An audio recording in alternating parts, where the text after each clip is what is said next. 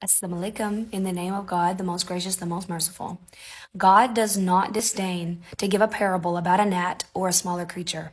The faithful know that this is the truth from their Lord. But those who deny the truth ask, What could God mean by this parable? He lets many go astray through it, but guides many by it. But he only makes the disobedient go astray. Those who break God's covenant after they have pledged to keep it and sever whatever God has ordered to be joined and spread corruption in the land, it is they who are the losers. How can you disbelieve in God when you were dead and he gave you life?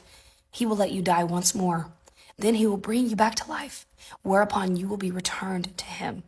It is he who created everything on the earth for you, and then he turned towards the heavens and fashioned it into seven heavens.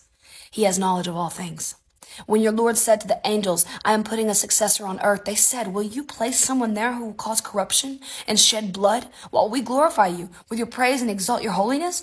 God answered, Surely I know what you do not know. And he taught Adam all the names. Then he set them before the angels and said, Tell me the names of these, if what you say be true.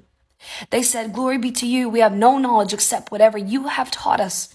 You are the all knowing, the all wise. And then he said, O Adam, Tell them their names. When Adam, when Adam told them the names, God said to the angels, Did I not say to you that I know the secrets of the heavens and the earth, and I know what you reveal and what you conceal?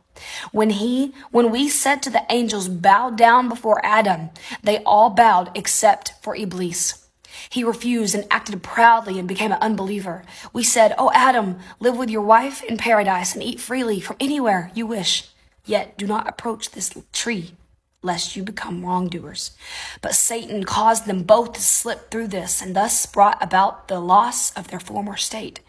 We said, Go down from here as enemies to each other, and on earth you shall have your abode and your livelihood for a while. Then Adam received some words of prayer from his Lord, and he accepted his repentance.